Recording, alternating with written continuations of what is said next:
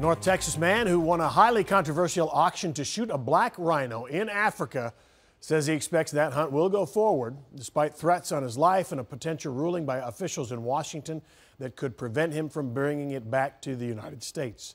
Only on Fox 4, Richard Race is down with the professional hunter Corey Knowlton to talk about it. Rich. Steve, Corey Knowlton's rhino hunt is sanctioned by Namibia. The money he's paying, he says, is important in their efforts to stop poaching and to save the species. It's supported by the International Union for Conservation of Nature, but it's vehemently opposed by the Humane Society and other animal rights groups, and there simply is no middle ground in this battle.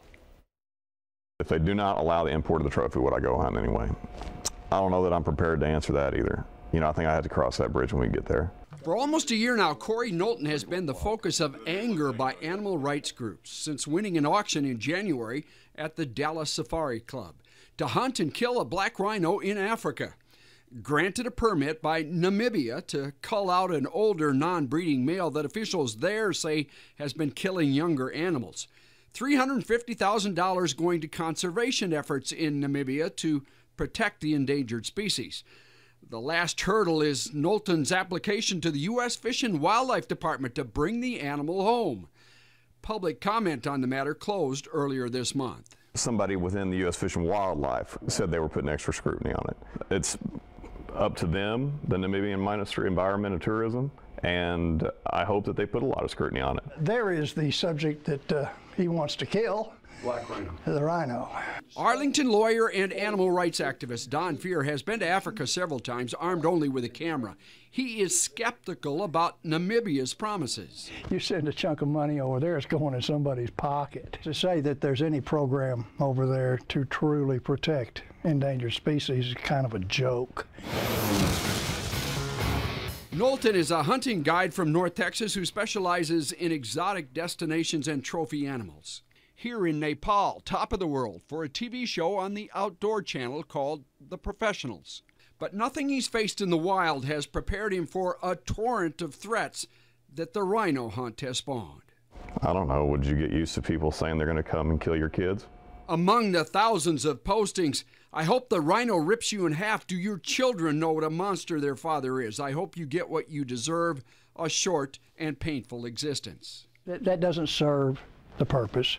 It doesn't accomplish anything. It makes everybody look like a lunatic. Don Fear acknowledges there's been too much of that from what he calls a radical fringe. I don't agree with a thing the guy's doing, but I'm also not going to use those tactics to stop it. That, that's an, that's just no, that's not right.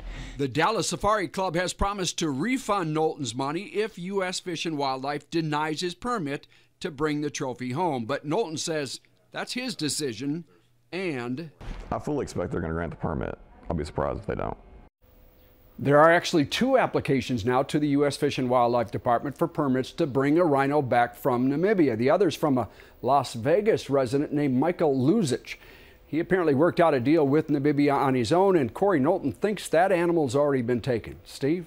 All right, Rich, question. Corey Knowlton, I'm not sure why he's getting all this attention, the focus of this, because this goes on every year, several times, and has been going on for several years, right? You're absolutely right. Each year, the government issues five black rhino permits. There are thought to be about 5,000 black rhinos left in the wild, maybe 1,800 of those in Namibia. And the Namibian government there says the money is used to protect the species, to improve habitat, fight poaching, and they say to cull out those older males that are not breeding but instead killing younger males.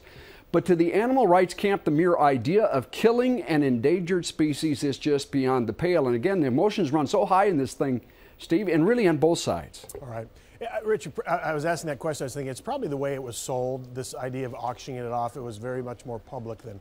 I, I, think that had a lot, I really do think that had a lot to do with it. It was just the idea of marketing right. this hunt that I think uh, so uh, made so many people angry and maybe not able to see the other side that maybe there is some benefit to conservation. It really is. It's, there's two sides to every story, and sure certainly is in this one. All right, Rich, in our newsroom, thanks.